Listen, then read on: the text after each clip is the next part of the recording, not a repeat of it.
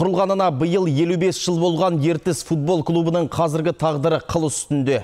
Қарызға белшесінен батқан команданың премьер-лига ойындарын әрі қарай жалғастыра, жалғастырмасы әлі белгісіз. Ал коронавирусқа байланысты тоқтап қалған футболдан Қазақстан чемпионаты шілде айында ғана жалғасатын болады. Соған қарамастан командалар жаттығуларын бастап кеткен. Бас назарда айдарында ертістің ертеңін Есенбек санатұлы саралап көрді.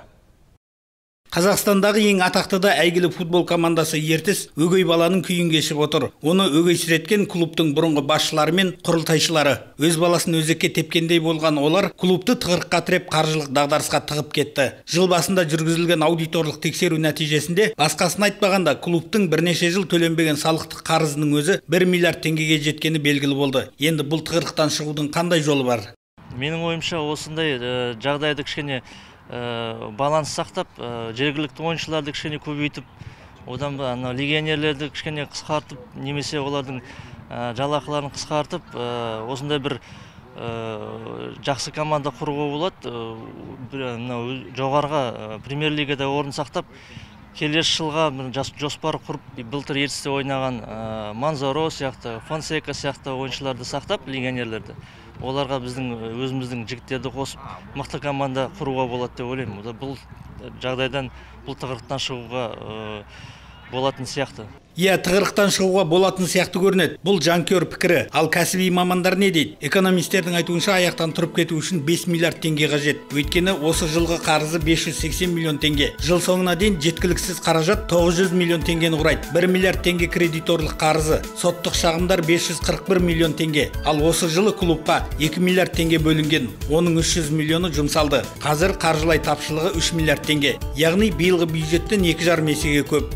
В таких финансовых условиях э, наш футбольный клуб э, в полной мере не может работать. Дәл қазіргі қаржылық жағдайда біздің футбол клубымыз толық жұмыс істей алмайды. Бюджетпен демеуші есебінен қаржыландырылатын клубтың қаржы мәселесін шешу экономиканың қазіргі ахуалында өте қиын, тіпті мүмкін емес. Түпкілікті шара қабылдау қажет. Бәлкім клубты банкрот жариялау керек шығар. Бұл жағын жоғары жақ басшылық шешуі қажет. Надо принимать кардинальные меры.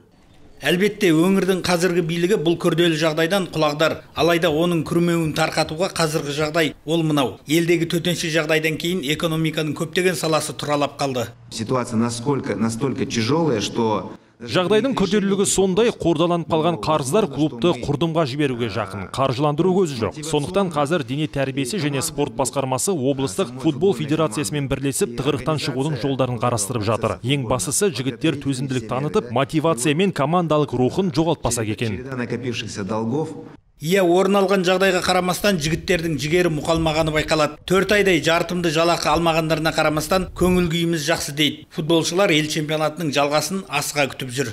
Бірінші лигаға түспеуге тырысамыз. Қолымыздан бәрі келгенін жасаймыз. Командадағы жігіттердің көңіл күйі қалай? Жақсы, обстановка күшті. Бәрі настроймен тренировка жасаушы. Басталғанын күтіп жатырмық. Тәуелсіз қазақ елінің футбол тарихында тығырыққа тіреліп жығылып тұрған командалар болды. Шығыстағы бұрынғы Восток, қазіргі Алтай, Семейдің Спартак сынды командалары қаржыландырылмағандықтан жоғары лигаға қатыса алмаған кездер болды. Дәл біздегі жағдайды былтыр Ақтөбе командасы кешті. Ақыры олар бірінші лигаға түсіп қалды.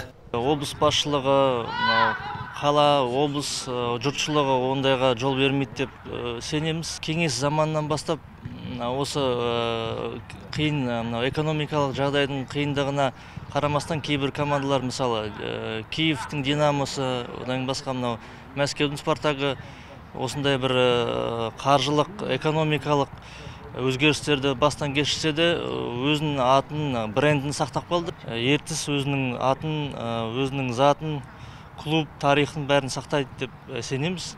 Қазақстан біріншілігінің бес түркін чемпионы болған. Бір рет кубокты ұтқан Павлодардың ертіс командасының құрылғанына биыл 55 жыл. Мерейлі жылда мерейі түспес екен.